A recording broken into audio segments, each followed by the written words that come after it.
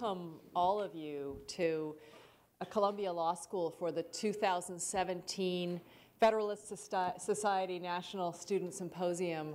It is an honor, truly an honor, looking out at this room and seeing, uh, uh, wow, I, I, from what I can understand, more than 600 people registered for this, uh, this important convening. And it's truly an honor for Columbia to be able to host it for the first time since 2006. So uh, we welcome you all here. You are our honored guests. I'm particularly pleased uh, to welcome our distinguished panelists this evening and presenters, uh, especially members of the federal judiciary who are here and will be helping to uh, moderate discussions over the next two days. But I, um, and I am not in charge of the introduction of our panelists, uh, but I am really delighted that uh, to welcome um, Judge Raggi, uh, Professor Irene, Irina Mantor, uh, Manta, Professor Richard Epstein, uh, Professor Steve Coll, and, and Jameel Jaffer, who um, I'll, I'll, mention in just a moment uh, before I close my remarks. Uh, so many things that uh, a dean is asked to do when welcoming a group like this involve, involves thanks. So I'll offer a few thanks, and then I'll offer a few words about the importance of the, of the symposium tonight. Uh, the Federalist Society, the National Federalist Society, has offered stalwart support to the activities of all of the chapters of the Federalist Society that are here tonight, and indeed, in order to help support this conference. Uh, we're right there behind us in, in, in, uh, in supporting and helping us pull this off. Uh, Sullivan and Cromwell was a, um, was a generous sponsor. The Fund for American Studies was a generous sponsor. And um, I also want to recognize the tremendous and tireless efforts of Columbia's FedSoc chapter for their organization and planning. We began a conversation more than a year ago um, about hosting this symposium, and they have been creative, they've been hardworking, they've been tireless, and um, I think that you will all uh, benefit from the fruits of their hard work to bring this, this convening together. So I, I want to actually um, honor and thank them as well.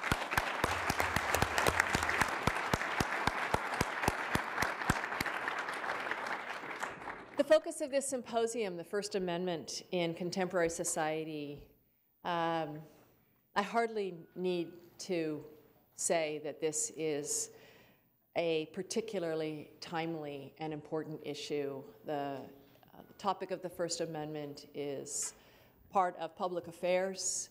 It is uh, an exciting and vital time in our society right now, and issues around speech and First Amendment are, um, are really on the top of all our minds.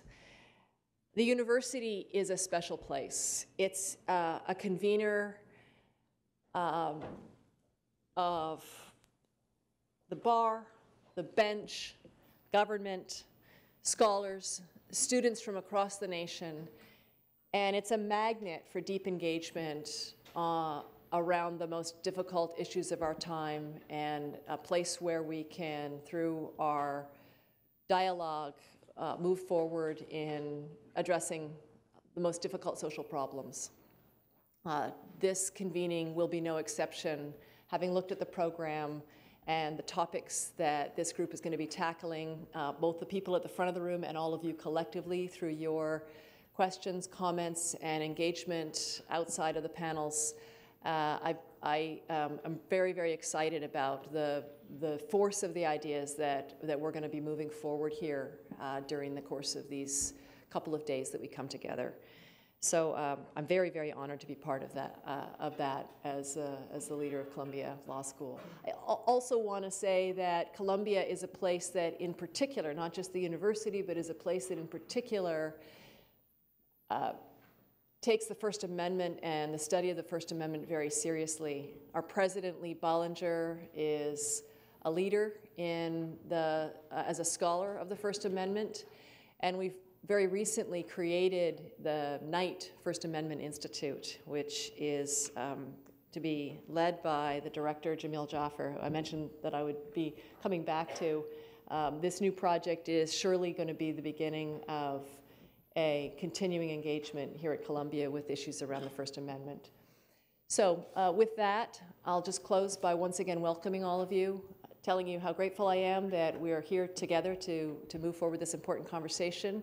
And um, please enjoy the, the two days of this conference. Thank you so much.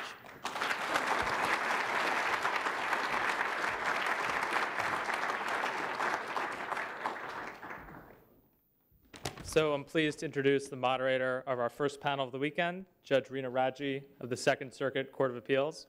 Judge Raggi earned her BA from Wellesley College and her JD from Harvard Law School.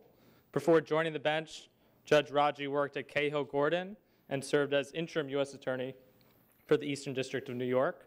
In 1987, she was appointed by President Reagan to a federal judgeship on the Eastern District of New York and in 2002, she was appointed to the Second Circuit by President George W. Bush. So please join me in welcoming Judge Raggi.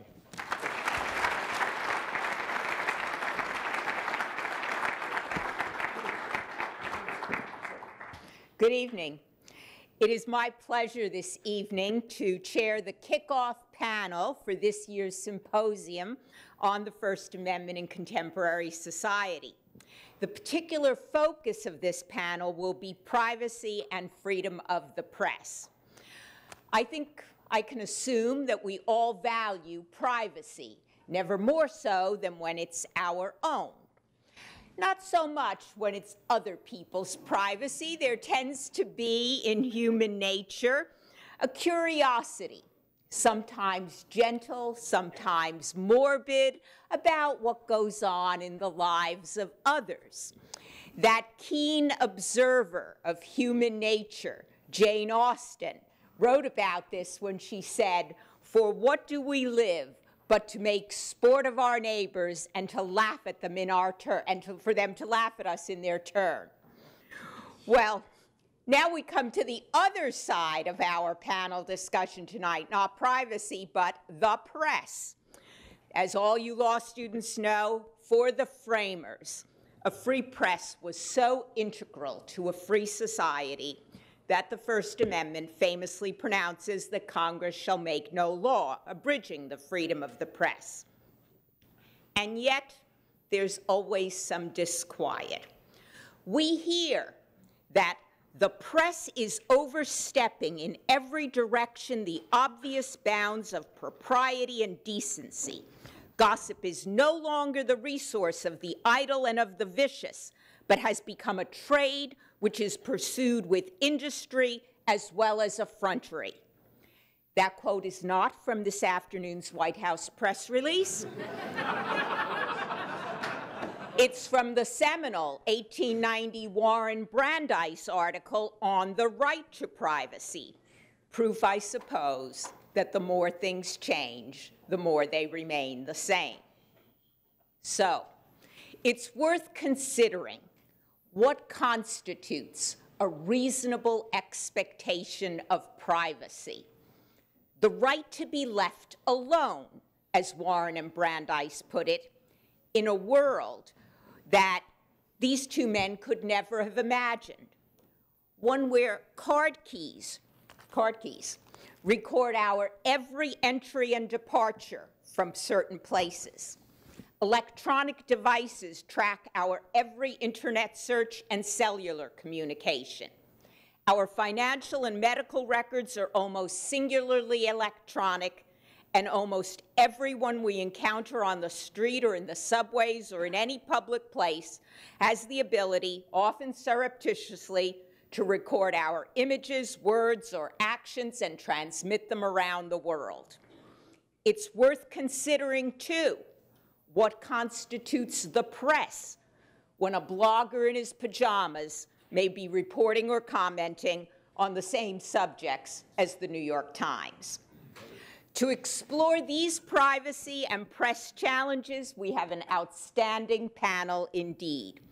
Professor Richard A. Epstein, the Laurence A. Tisch Professor of Law and New York University School of, of the New York and of the New York University School of Law writes and teaches extensively on a range of legal subjects, from administrative law to antitrust, constitutional law to corporations, criminal law, environmental law, health law, labor law, Roman law.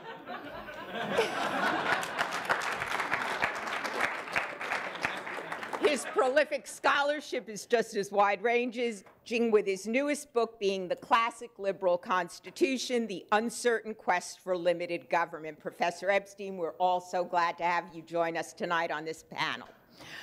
Professor Irina D. Manta is a professor of law at the Maurice Deane School of Law at Hofstra University and the founding director of Hofstra's Center for Intellectual Property Law. She teaches and writes extensively on intellectual property subjects, often examining the intersection between that area of law and social science. She is the author with colleagues of a casebook on the criminal law of intellectual property and information. Professor, welcome. Our next two panelists need no introduction at Columbia. Jameel Jaffer, as you've already heard, is the director of the Knight First Amendment Institute here at Columbia having previously served as the deputy legal director of the American Civil Liberties Union. He created the ACLU's project on speech, privacy, and technology and directed its litigation regarding the NSA surveillance programs disclosed by Edward Snowden. He has argued cases at all levels of the federal court system, including the Supreme Court. Professor, thank you for joining us. And finally, Steve Coll is the Dean and Henry R. Luce Professor of Journalism at Columbia's Graduate School of Journalism. A staff writer and reporter, a foreign correspondent, senior editor, managing editor of the Washington Post, a writer now for the New Yorker, Dean Coll is the recipient of two Pulitzer Prizes among a host of journalism awards and honors we're so glad we have you tonight, Dean, to keep our feet on the ground. So how are we going to proceed? Each panelist is going to speak for about 10 or 15 minutes on a particular area of tonight's topic. I expect that will trigger further thoughts, even challenges among them that we'll pursue for a bit, and then we'll try to open the floor for some questions by all of you. So I'm going to start by asking Professor Epstein to share his thoughts on the topic and the extent to which changing times, technologies require rethinking of legal principles.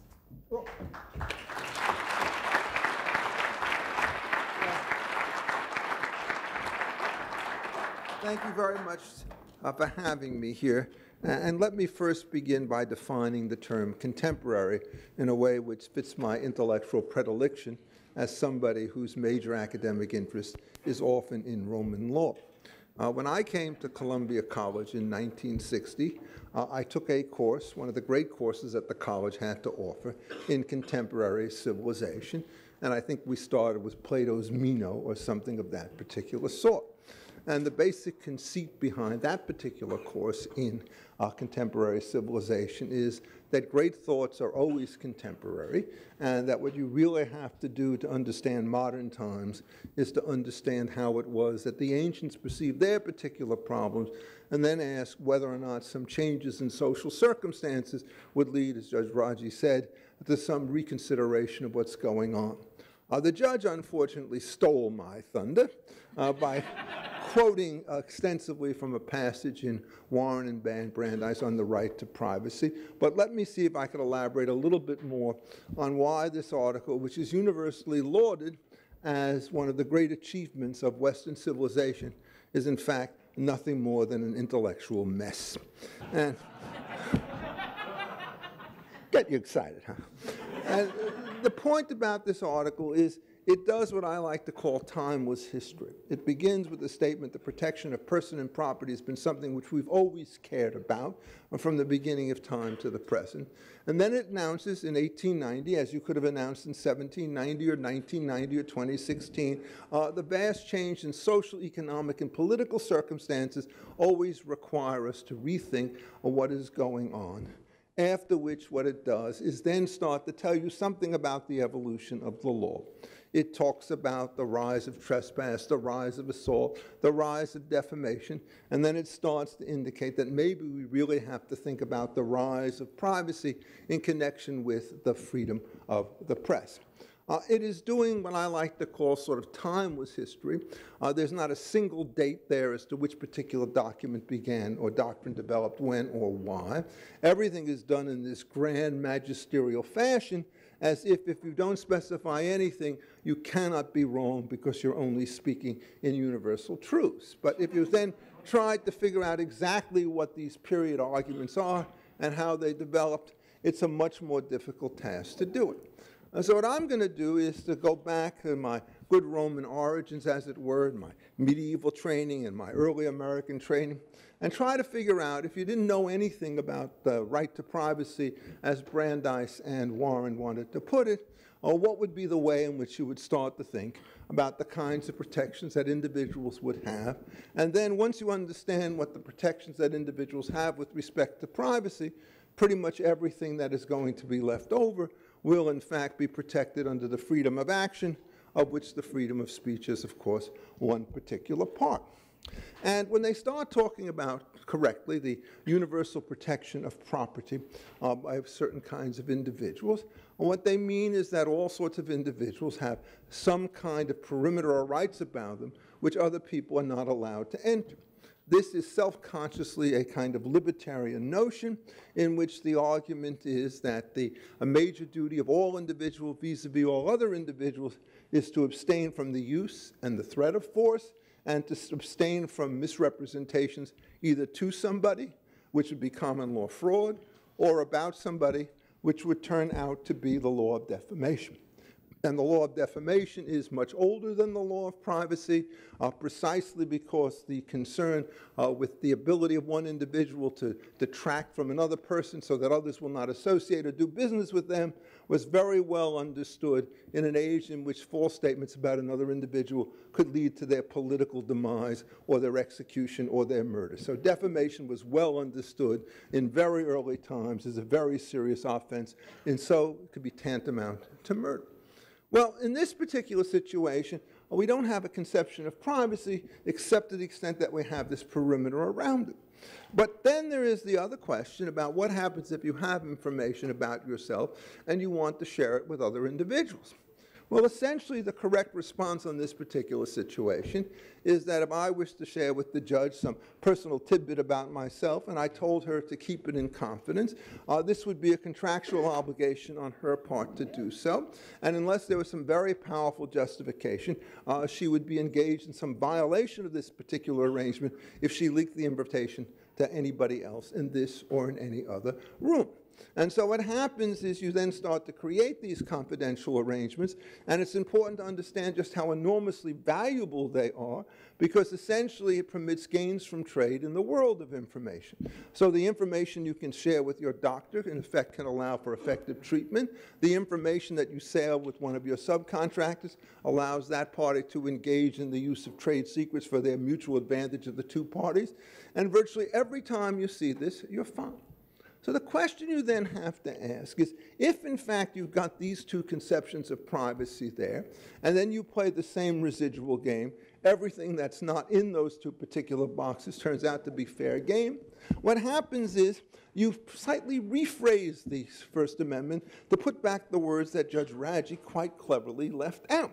It doesn't say Congress shall make no law respecting the freedom of the press, it's the freedom of speech or the press. And what you then start to do is to ask, well, now how do we define the freedom of speech? And the kind of simple minded answer that you give is that to the extent that there is no particular wrong as a common law nature with respect to what you're doing, you're allowed more or less to say everything that you want. And so what this then does is it gets us into a sort of a complicated question about how good were our friends Warren and Brandeis when they decided that the right of privacy had to go beyond the parameters that they stated. And when I said the thing was something of an intellectual mess, not only do I think they garbled up the history, but it turns out if you actually go and cheat the subsequent development of the law in this particular area, or what do you come up with It's essentially the entire edifice uh, that Warren and Brandeis put together about gossip and about small talk and about pettiness turns out to have gone the way of the Boston Brahmin.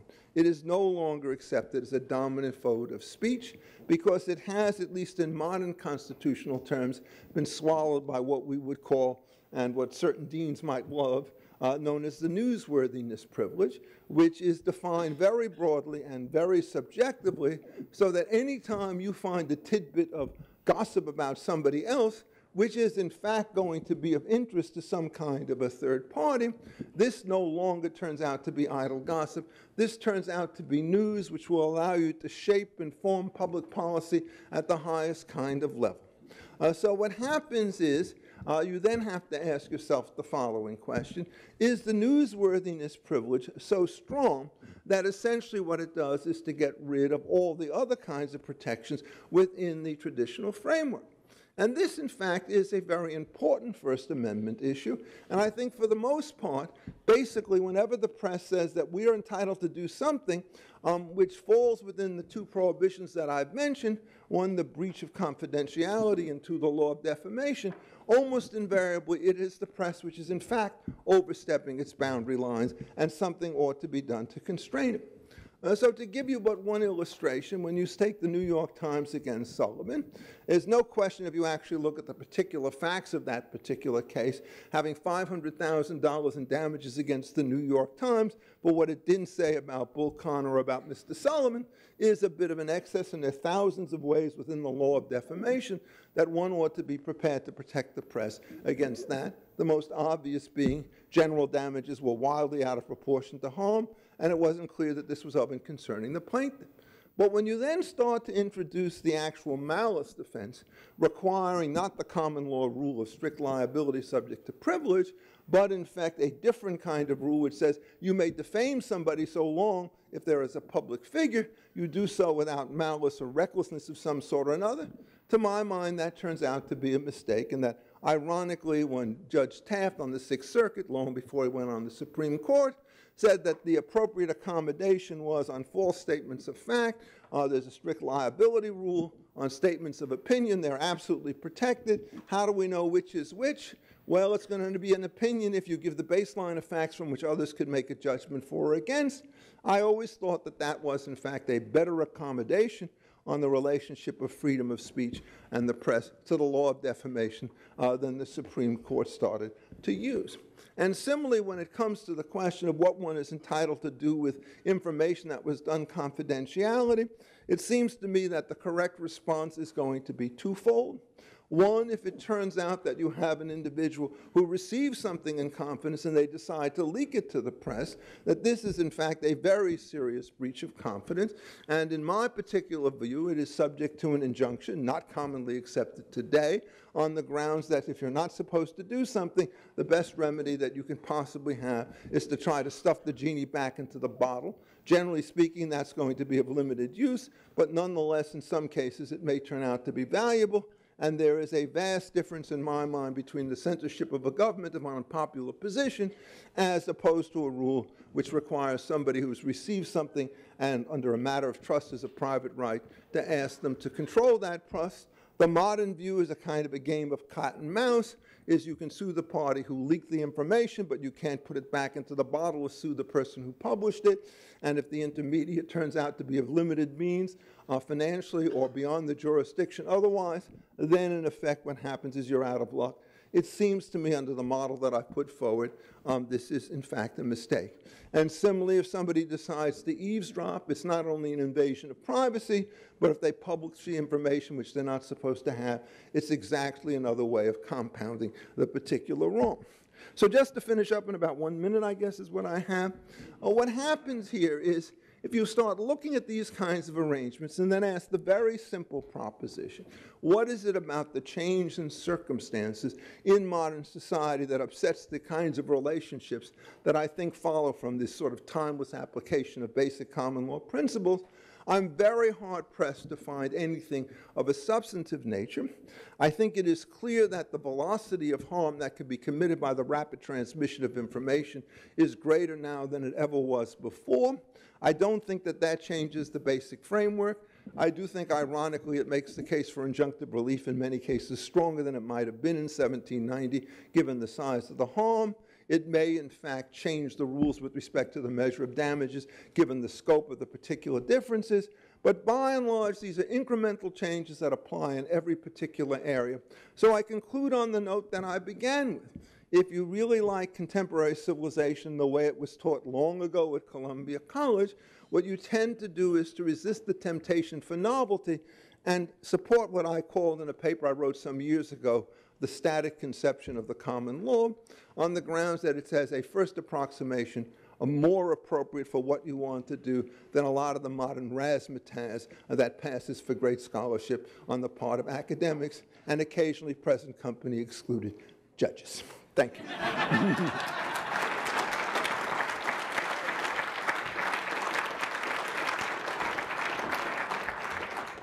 Thank you, Professor.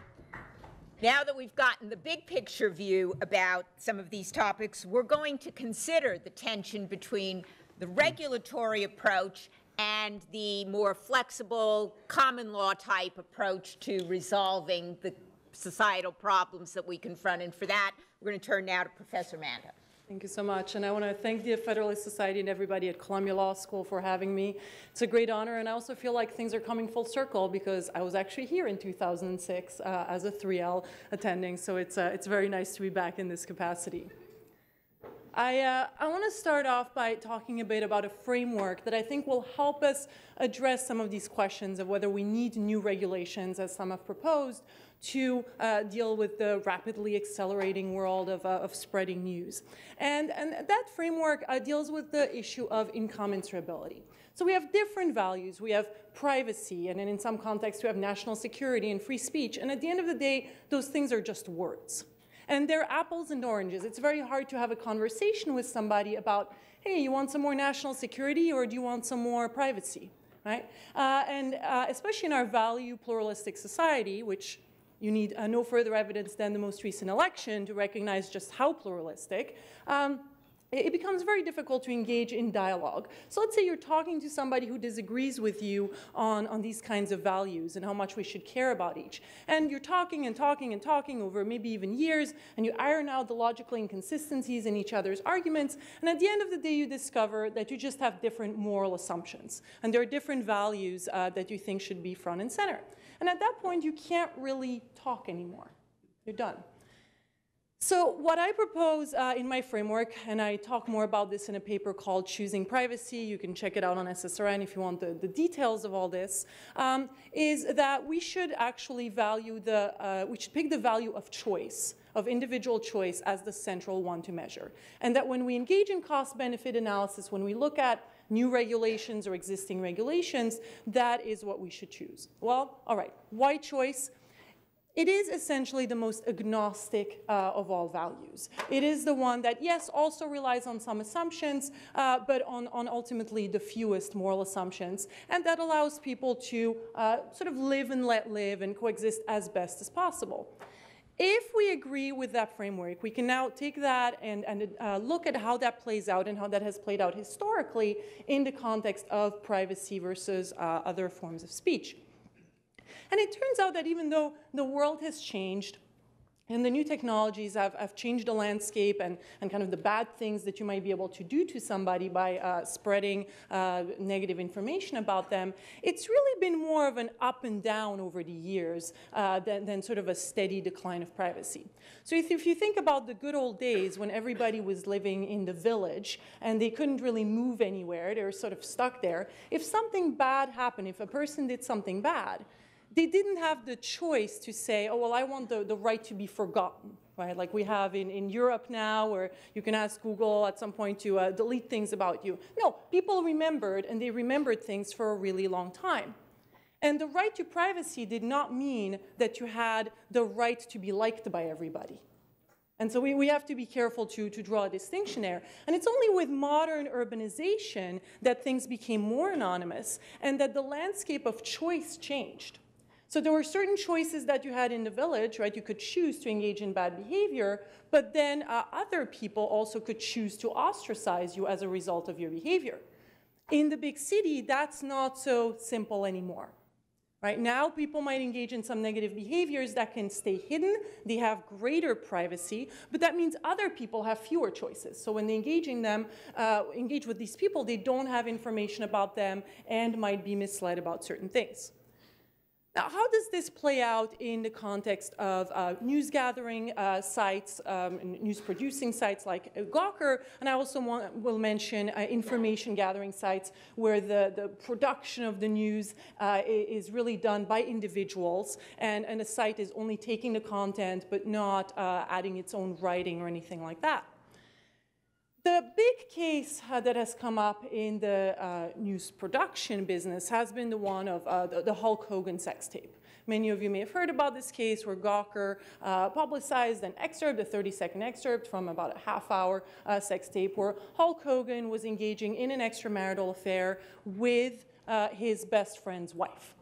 Uh, when this was allegedly done with the best friend's uh, consent, and that's also the person that did the filming, and then this was disclosed. Now, this is one case where the newsworthiness doctrine had to be uh, applied, and the trial court ended up deciding that indeed uh, Hulk Hogan had been harmed, that this was not newsworthy, and awarded $140 million.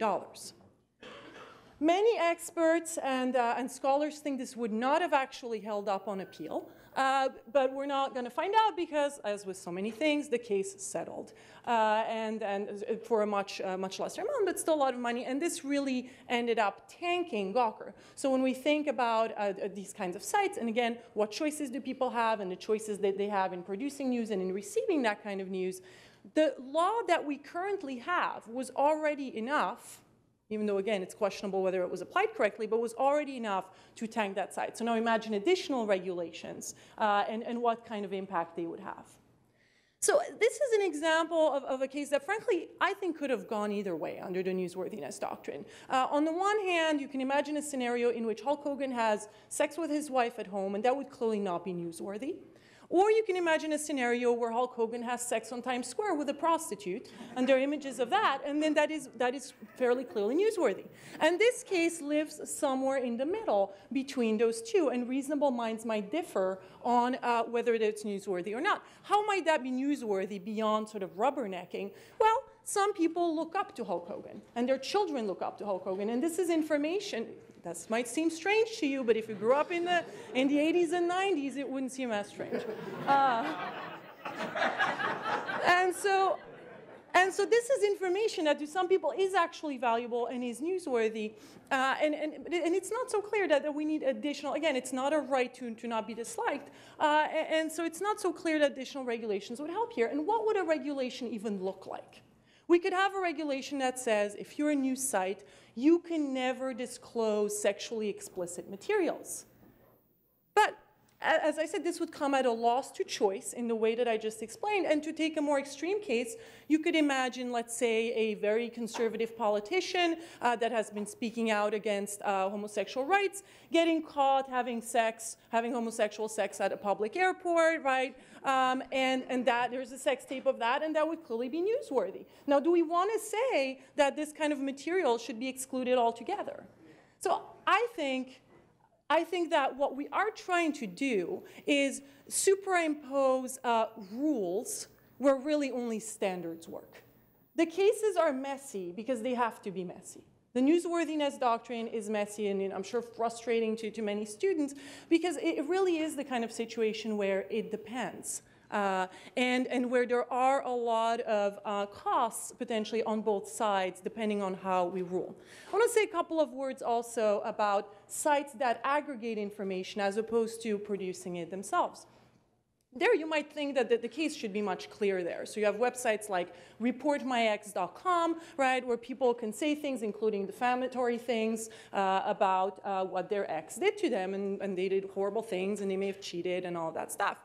You might say, well, this is horrible as far as privacy is concerned, right? Like it's, you know, somebody might have a hard time uh, defending himself, etc. But, but, we do have the ability uh, to, to have people go to court over the original person that um, against the original person that made the statement. So we do have laws that address that and that try to provide incentives against it. And, and we have to think about, all right, what does the world look like on the other side, right? So imagine, again, urban centers, uh, people are dealing with people they don't necessarily know. We live in the age of Tinder. Uh, and so in that context, this might be, this might give some people the ability to choose to not engage with certain kinds of individuals. So you want to make regulations where aggregators are punished more harshly, not just, again, not just producers of news, but aggregators of information. There is also going to be a loss to choice.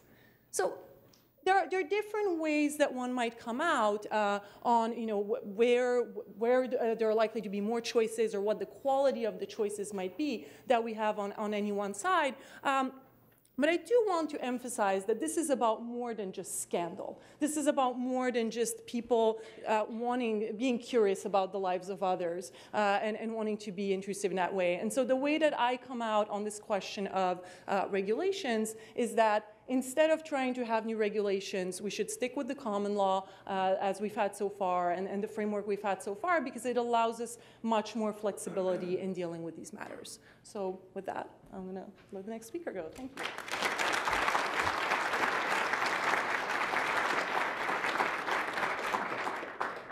I have to say that um, having a little difficulty conceiving of the framers like Madison and Hamilton discussing whether or not sex tapes should be covered by the First Amendment. Can't quite, can't quite get that picture. Um,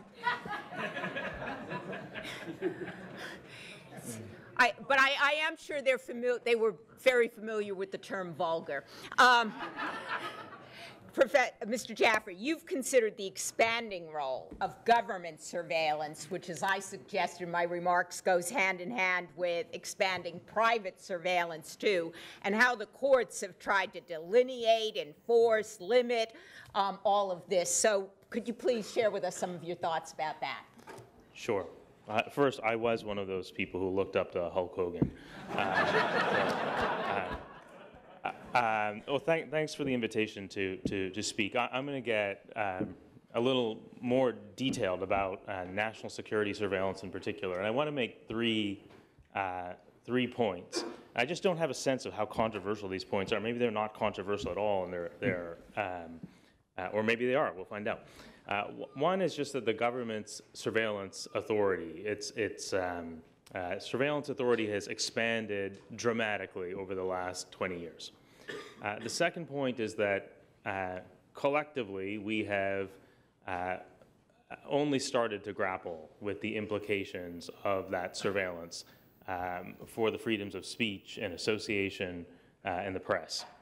And the third is that um, uh, the courts, which you might have expected to play a role, a significant role, in um, in setting out the, the proper scope and limits of government surveillance authority, uh, have, have not played that role.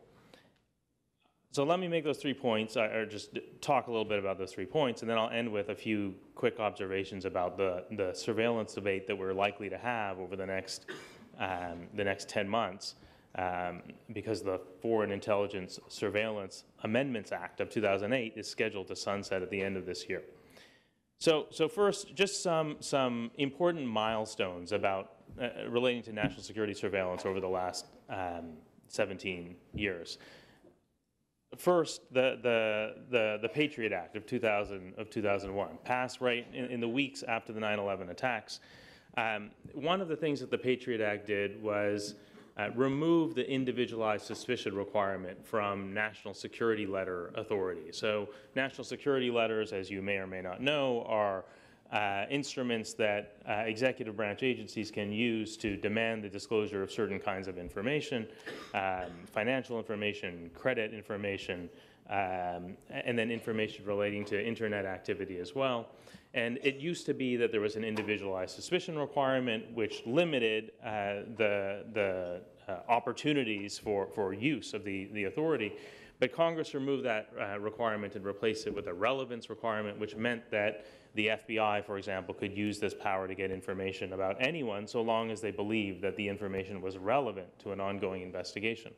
And unsurprisingly, that had a pretty dramatic effect on the, um, uh, the frequency with which the, the FBI used that power. In the years before 9 11, they would serve a handful of these national security letters every year. In recent years, it's been tens of thousands every year. Uh, in 2013, for example, it served, the FBI served more than 14,000 national security letters for information about U.S. persons, uh, meaning U.S. citizens or residents, and tens of thousands more uh, for people who weren't U.S. persons. So that's a pretty, you know, to me, that seems like a very large number.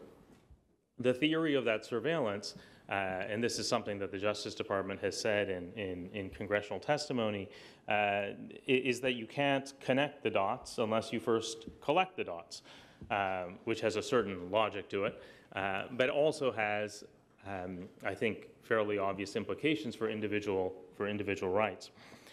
It was on the basis of those same amendments, those 2001 amendments, that the National Security Agency launched the call records program that uh, that Edward Snowden disclosed in 2013. Uh, and as you all know, that program involved the NSA keeping track, making a record of every phone call made, or virtually every phone call made, on a domestic telephone network. Uh, who picked up the phone, who they called, how long they spoke for, when they spoke to them. Uh, all of that was recorded in a government database, uh, and various federal agencies could query the database uh, initially without the involvement of, uh, of the judiciary. Um, in, in 2005, the New York Times exposed the warrantless wiretapping program that the Bush administration had authorized.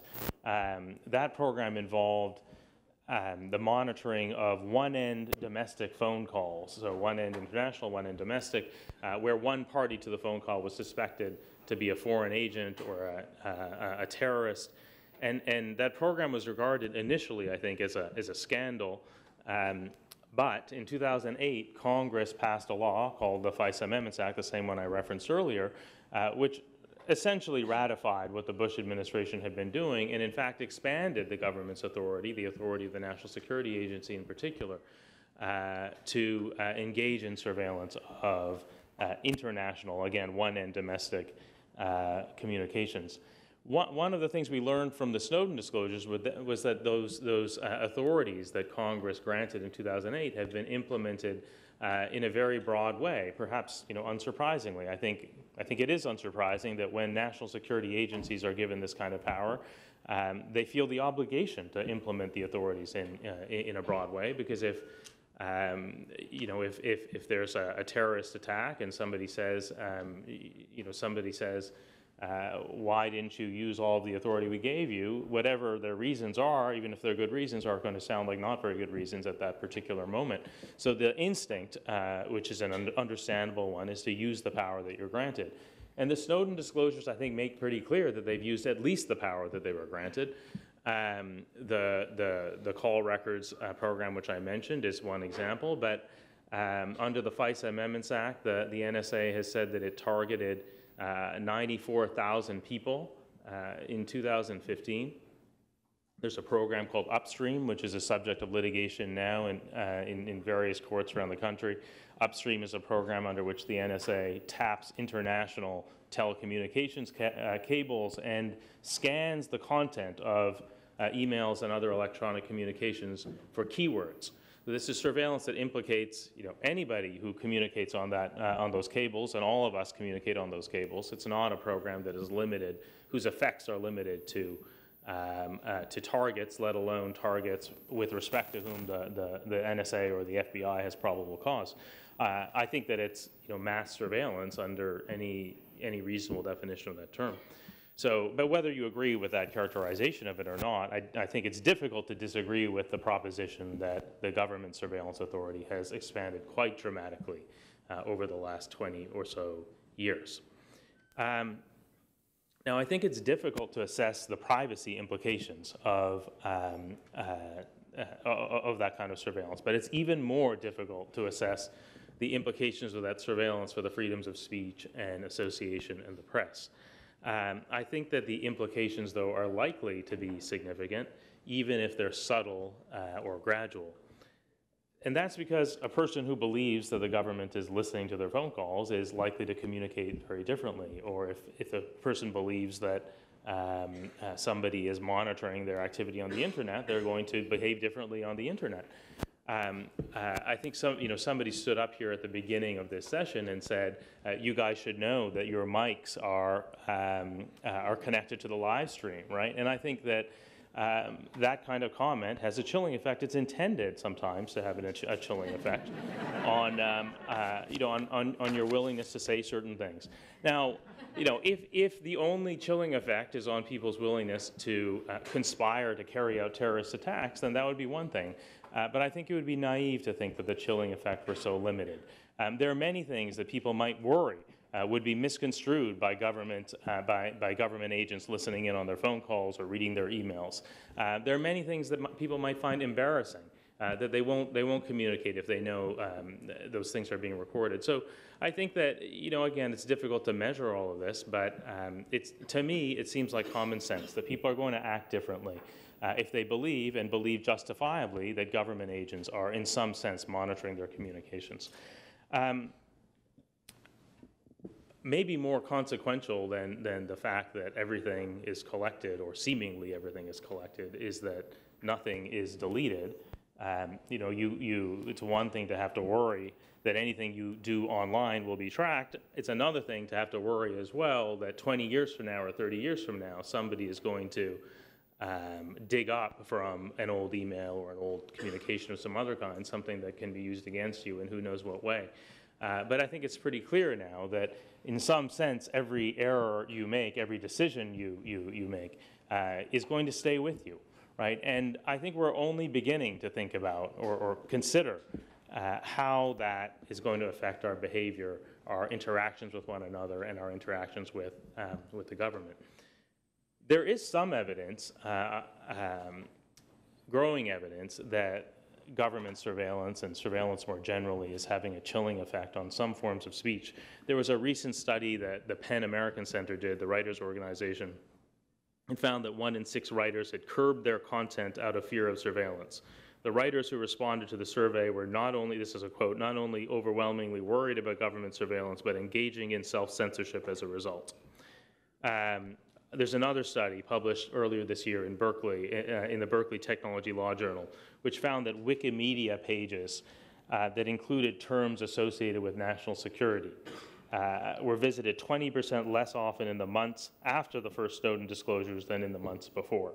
The study's author wrote that his findings were consistent with, quote, a sharp, immediate chilling effect and possibly with a lasting impact on total page views. Uh, there was also a study that uh, I wasn't involved in this study, but it was the ACLU and, and Human Rights Watch. Uh, they interviewed the, the, the, interviewers talked to journalists and editors at various media organizations about the impact of government surveillance on their reporting. Uh, and the journalists reported the government surveillance uh, and the related crackdown on unregulated contact between officials and the press had combined to, quote, constrict the flow of information concerning government activity. Um, I, I, think that Steve will probably talk more about this uh, in a few minutes. But since, um, so I, I, don't claim that, that you know, all of that establishes that there is some, um, the, some very significant chilling effect. Uh, I do think that there's some evidence of it, and I think that it's consistent with common sense that there will be uh, that kind of chilling effect. That chilling effect affects important individual rights, and because it does, one might expect that the courts would play a significant role in uh, considering the proper limits of the, of the surveillance. Uh, I, I, don't think that they have played the role that um, one would have expected them to play. And there are, um, there are a few reasons for that, which I'll get to in one minute. I, am probably running out of time, right? But um, there, I, I want to draw a distinction quickly between two different kinds of cases. There are law enforcement cases, and I think that the Supreme Court has uh, tackled very important questions relating to uh, the right to privacy in particular and uh, new technology. One case is, of course, the Jones case, uh, in which the court held that the installation of a GPS device on somebody's car and the tracking of that person's location over a period of a month um, violated the Fourth Amendment where it was carried out without a valid warrant. Uh, the other case, more recent, is the Riley case, in which the court held that the search incident to arrest doctrine doesn't extend to cell phones. So those are, I think, very important rulings that um, uh, relate to the, again, proper scope of government surveillance. Uh, but they don't involve national security surveillance. National security surveillance, I think, has been uh, largely beyond the reach of at least the ordinary courts. Um, and that's for a few different reasons. One is, is secrecy. National security letters, for example, um, as I mentioned, tens of thousands of them issued every year. Each one of them comes accompanied with a gag order that prevents the person who receives it from talking about it, from even disclosing the fact that they received, uh, received the letter. And that makes it difficult to seek legal advice, it makes it difficult to sue. Um, secrecy surrounding the use of these kinds of surveillance authorities also makes it difficult for plaintiffs to establish standing. Um, I was involved in a case, um, went to the Supreme Court in 2012, uh, called Clapper v. Amnesty.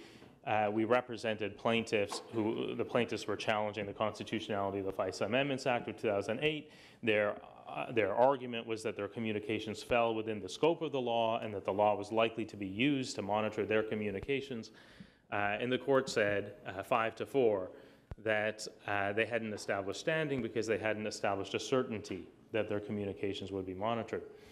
Um, you know, whatever you, you, you think of, of that decision, I think, you know, one, one, one, uh, one result is that very few plaintiffs are going to have uh, the ability to challenge the constitutionality of government surveillance uh, because very few people are going to be in the position of being able to show that their communications were, as a matter of uh, certainty, uh, intercepted under these national security uh, authorities. Uh, you know, the related reason why these programs have been kept from the courts is that there's a kind of incentive structure that, that uh, under which the intermediaries who hold this information, so a lot of this information is held by AT&T or Verizon or the technology companies, they don't always have an interest in protecting the rights of um, um, or certainly going to court to protect the rights of their users, especially when the users don't know that their privacy or their, uh, uh, their rights more generally are implicated uh, because of the secrecy surrounding the surveillance, right? So when a, a national security letter is served on uh, AT&T, for example, the subject of the national security letter doesn't know about the national security letter and so can't go to court to challenge it. AT&T may not see an interest in challenging uh, the constitutionality of the demand, especially because AT&T um, is a heavily regulated company and has an interest in staying on the good side of the uh, of the regulator. So those incentives don't really um, uh, create an environment in which uh, litigation naturally uh, occurs. Uh, there is, and maybe this is sort of the final point I'll make, there, there is a court, of course, that does review the lawfulness of this um, uh, national security surveillance. It's, it's, the, it's the Foreign Intelligence Surveillance Court. Uh, that's a court that meets in secret, generally lets only the government appear before it, and doesn't uh, ordinarily publish its decisions. Now, it has existed in that way since 1978, but it's important to recognize that its role now is very different from the role it played in 1978 in 1978, what the court was doing was considering applications for individual surveillance of individuals, and it would consider whether the government had met its probable cause burden. Um, so that was very, uh, uh, it was analogous to what courts do in the ordinarily, in the ordinary, uh, in ordinary criminal, criminal cases. Uh, more recently, since 2008, the court, the FISA court, has been reviewing the validity of broad programs of surveillance um, like the call records program I mentioned earlier or uh, the upstream program, uh, not considering um, the, the legitimacy of any specific target, but at a very broad level considering the lawfulness of these, these programs. And I think the argument for secrecy there is much weaker uh, than it is in the context of a specific defendant, uh, where to disclose the existence of the case is to tip off somebody who, um, uh, you know, with uh, uh, somebody who is planning perhaps um, you know a terrorist attack.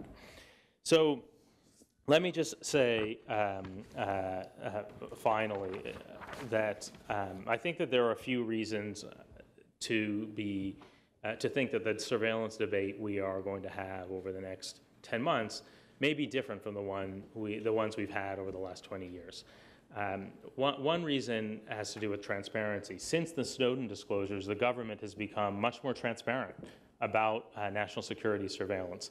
Uh, initially, it did this because Snowden had disclosed some information, and in order to respond to Snowden's disclosures, it, the government felt uh, that other information would have to be uh, released. But I think that has created a kind of muscle memory, um, and now the, the, the National Security Agency um, uh, is accustomed to releasing information in a way that it certainly wasn't five years ago. Uh, now that you know that we have a new administration, and perhaps that that will change. But I think that the agency, the NSA, um, uh, in particular, um, has different habits now than it did did five years ago. A second reason why this debate may be different is that the courts are uh, engaged in a slightly different way now than they were five years ago, and that is almost entirely because of the Snowden disclosures the, the, the Snowden disclosures forced, again, the government to release certain information. And once that information was released, uh, plaintiffs were able to go into court to challenge these national security policies in a way that they weren't able to when all of this was, was secret. And those cases uh, may uh, ultimately influence the congressional debate. Um, and then finally, um, I, I, think that it's hard to, to it, it's worth asking to what extent the, the debates we had over the last 20 years or since 9 11 um, uh, were affected by the trust that large numbers of Americans had in the government. Uh, and I certainly think over the last um, eight years, large number of Americans were willing to invest powers in the presidency because they trusted the president.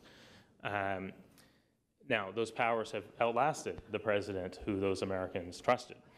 And uh, we'll see whether Americans are willing to extend the same deference to this administration as they were to the last administration. And we'll see whether the courts are willing to extend the same deference to this administration as they were to the last administration. But that, that too uh, may have a significant impact on um, the shape of the surveillance debate we're about to have. Thank you. Thank you.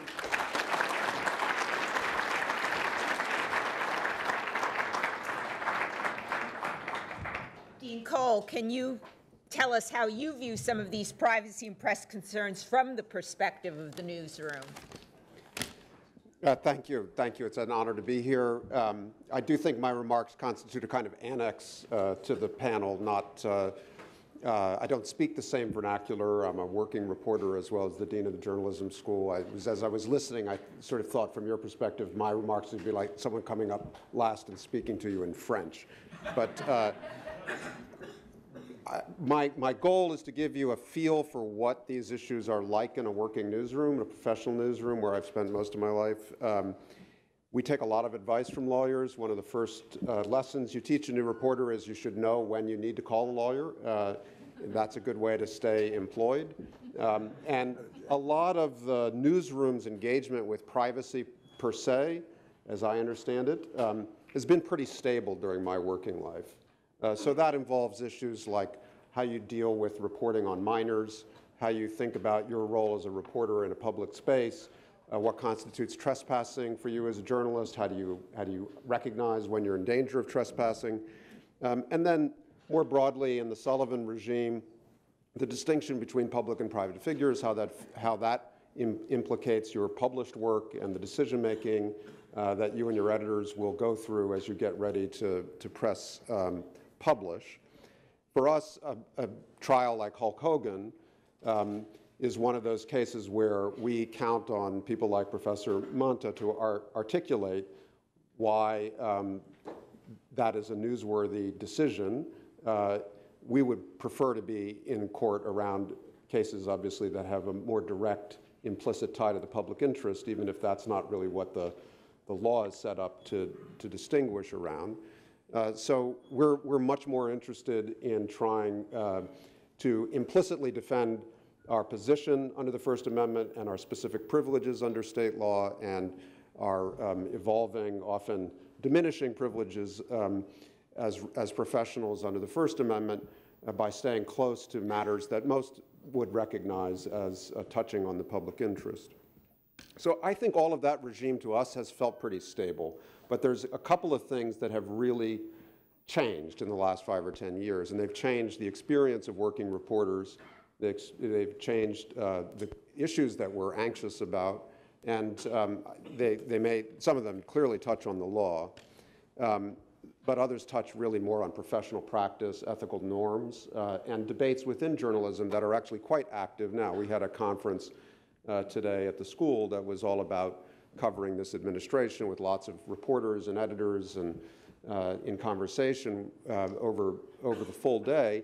And some of the issues I'm going to mention now, uh, like the, the big data uh, leaks and hacks, uh, were very much a part of that conversation. And it's very early stages uh, in the search for new kind of professional norms. In fact, one of the panels was about someone proposing a new norm for how you interrogate um, massive data dumps of unknown provenance uh, and decide whether or not to make journalistic use out of them. I don't think it was a persuasive uh, offer, but it, it, got the conversation going and it signals that there's a, a sort of new set of questions that journalists are rec uh, reckoning with. So um, I remember when the first WikiLeaks uh, big dump of US information came out, that was maybe, what, Jameel, 2008, 2009? Uh, the, I remember the State Department cables ran through early 2009, so not too long after that. And Bill Keller, who had been the uh, editor of the New York Times, uh, wrote a column or said uh, something in public around the idea that, well, I don't think this is going to happen very often. So as an ethical problem, uh, it's probably a one-off. I mean, who's going to be able to really walk out with this kind of uh, thumb drive full of massive data and information? Well, so journalists, are, you know, we have a poor record of forecasting, uh, it can be said uh, again and again. Um, but coming to terms with these, these big data technology-enabled, thumb drive-enabled uh, disclosures uh, has really been a very slow, um, slowly recognized problem in journalism for decision makers. I think uh, initially there was a kind of sense that, well, we can take uh, shelter and jurisprudence that protects the use of these materials no matter where they came from, and let's just review them the way we'd review any document, uh, to determine whether or not there are privacy concerns that need to be shielded and determine whether there are matters of public interest that can be reported upon. The documents themselves may only be the beginning of a reporting process, just a trigger to go out into the world and figure out uh, things that you wouldn't otherwise have had a stimulation to report on, um, or they may be uh, disclosures in and of themselves that are clearly in the, in the public interest, and we can protect uh, privacy while we, while we go through our filtering decision making in the newsroom. So that kind of prevailed through the first set of disclosures, which involved uh, often um, uh, government uh, materials. Uh, certainly in the case of the first WikiLeaks, relatively low levels of classification, comparably low levels of sensitivity compared to the Snowden disclosures. Then you had the Snowden episode, which raised the challenge to journalism. He said that he had uh, decided to use collaboration with journalists because he didn't want himself to make the decisions about what matters were in the public interest, what were too sensitive to publish. And so he decided to ask you know, reporters like Bart Gellman to, to go through that process. That created a whole other set of uh, anxieties and discussions about how to manage these kinds of disclosures, especially since uh, uh, Mr. Snowden was uh, a fugitive from the United States at the time, uh, and still is. Um, so then you get the Sony hack. And I think that was about the first time, at least in my experience in professional newsrooms, that I heard editors and reporters say, wait a second, this, this is a departure. Uh, this came, we don't really know where it came from. Uh, unnamed government officials um, quoting intelligence assessments say that it came from North Korea, uh, that North Korea was angry about a film. Uh, the disclosures in the emails um, don't pertain to governmental decision-making by and large. They pertain to the decision-making of filmmakers, a lot of gossip about who is borrowing whose private jet, and enormous unfiltered amounts of private medical information, uh, private uh, correspondence about family matters.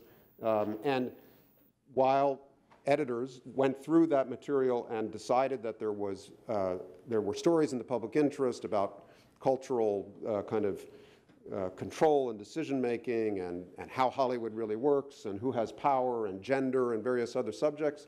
Um, it was an uncomfortable uh, exercise that started this conversation. And then comes 2016, uh, when about halfway through the disclosure of these uh, DNC and, and, uh, and other hacked emails, uh, comes the assessment that this is actually an active intelligence operation by the Russian government.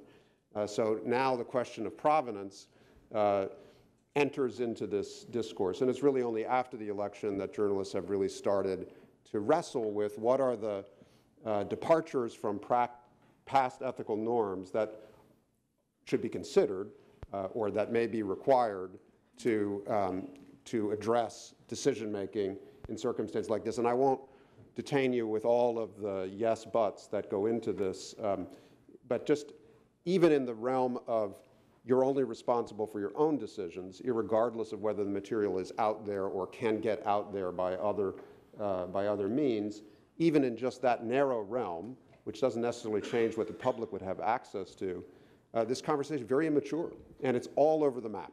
Um, and it's very, it's very interesting to be around, actually.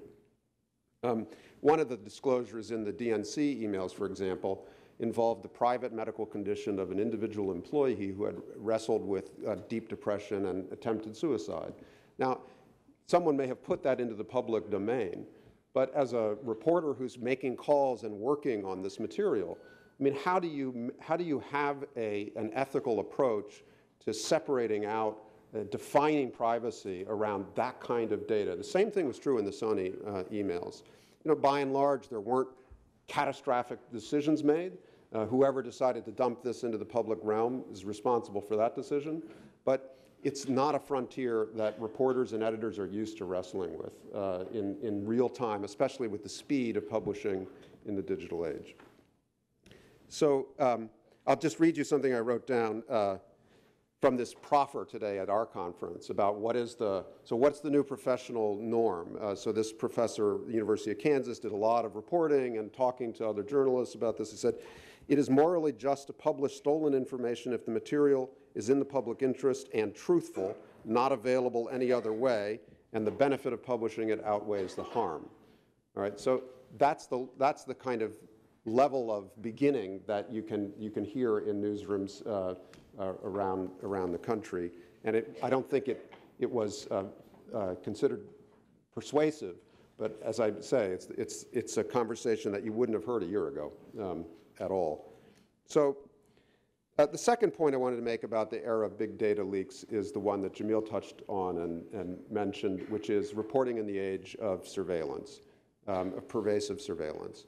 So this has, uh, there's two elements to this uh, that I just thought I'd mention because they're, they're very alive in uh, the work of uh, professional reporters, and my own and, and others.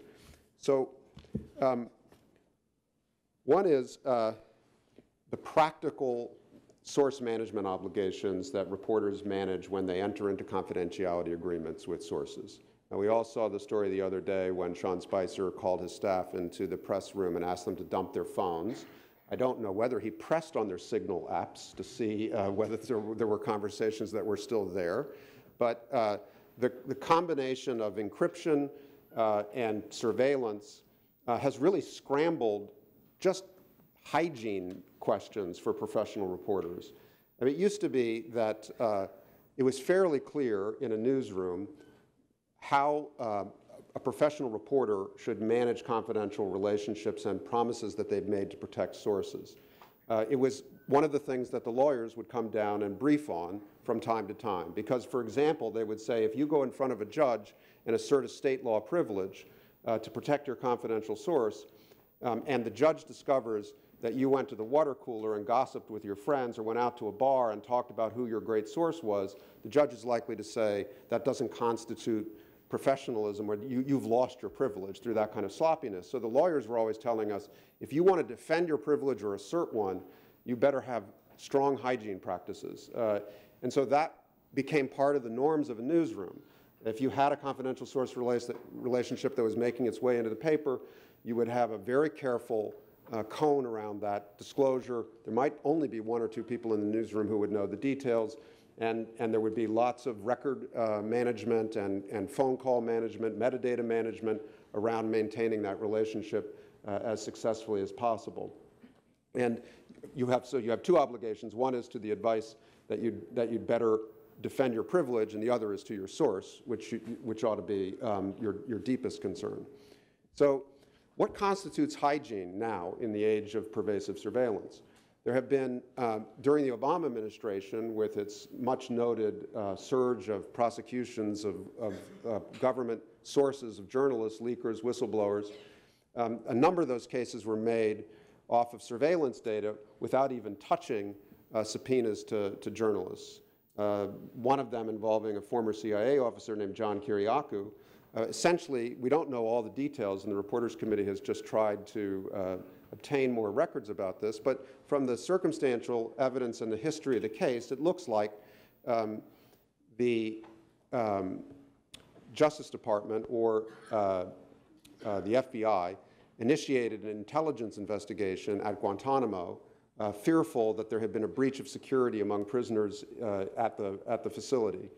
Uh, in the course of that investigation, they collected a lot of email. Uh, eventually, they decided that their fears were unwarranted and that the material that had triggered the intelligence investigation had an innocent explanation. But while they collected all of the email associated with the intelligence investigation, they discovered correspondence between the officer and journalists about unrelated matters. And then, by some mechanism of the Patriot Act that I don't fully understand and that isn't always very uh, transparent, they converted that email evidence into criminal evidence and prosecuted the leaker without ever subpoenaing uh, any of the reporters who had been in contact with him. So, as a reporter, if you're trying to protect a source of that character, you have to be aware that all of your email correspondence, all of your metadata, is potentially putting your is potentially breaching your pledge of confidentiality, and you have a duty of hygiene and best practice that you now have to rethink. So, for the first time in my professional life, you have people coming into newsrooms training reporters on digital security. Uh, it's, it's a very difficult thing to teach and assess in the context of journalism practice because you're moving fast, you're constantly communicating, you're on deadline. Uh, it's the best training that I've seen basically starts with a threat assessment. What are you worried about? What are you vulnerable for? Are you trying to maintain a confidential source relationship? All right, well then let's talk about how to do that. Are you traveling overseas to a, a country with centralized surveillance that's going to basically eat your laptop and pull everything in and out? Including all of the records you may have of contacts with confidential sources, then you have to behave in a different way. I mean, I, basically travel uh, to sensitive countries now with a clean computer. It's expensive, but it's the best advice I have, which is just to leave my stuff at home. Uh, so uh, it's, a, it's a whole new set of practices that involve uh, the, the kind of the core um, obligations of journalism. And then the final thing I would say is maybe more touches on where where you live, which is uh, in, in jurisprudence of these leak cases. During the Obama administration, there was one case involving a Fox News reporter uh, and an, another case involving the Associated Press, where um, memoranda, not I guess in the end court filings, but uh, memoranda generated around subpoenas by the Holder Justice Department, uh, came as close as I've ever seen in my working life to criminalizing the receipt of classified information by a journalists. Uh, and the, the, when, they, um, when the administration departed from 25 years of Attorney General guidelines about subpoena notification in the AP case, that created an uproar, and uh, the Attorney General tried to reset his uh, commitments to these guidelines and, and, and did so by the end of his administration. But the, the, uh, the kind of arguments and the and the proposition of criminalizing the, the receiving side of journalist uh, encounters with, with uh, government sources um, is now, I think, uh, in motion. And I, I am expecting that during this administration um, that there will be prosecutions of this kind uh, in one setting or another. I wouldn't, I wouldn't be, at this point, remotely surprised. And uh, then we'll turn to Jameel and others to, to get us out of jail, but, uh, uh, but, that's, but that, is, that to me is the, is, the, is the final consequence of where the surveillance state ends up. Uh, it's, it's really located in national security reporting primarily, but I think it is uh, it's something entirely new in my you know, 35 plus years of professional experience. So I'll leave it there. Thank you. Thank you.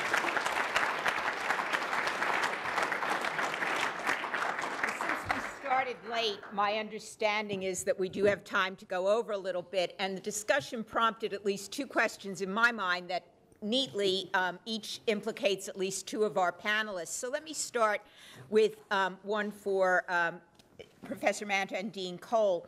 Um, if, if I understood you correctly, Professor Manta, you think that when um, there are questions that implicate claimed um, invasions of privacy countered by claims of freedom of the press because it's a matter of public interest, that the question of whether something is indeed of public interest ought to develop in the common law tradition, that it ought to be by consent. Did I understand you correctly?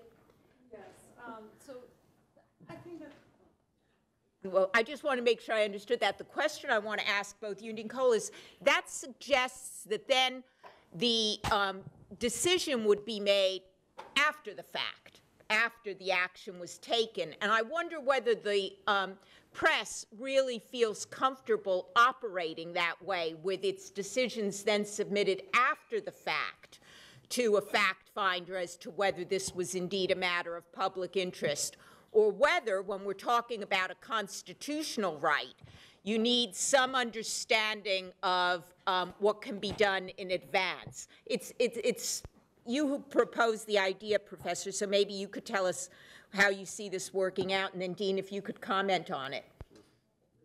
Thank you. Yeah, so this is why I, I touched on uh, very briefly on the, the issue of rules versus standards, uh, because that, that is the eternal problem that we have in, in these kinds of situations.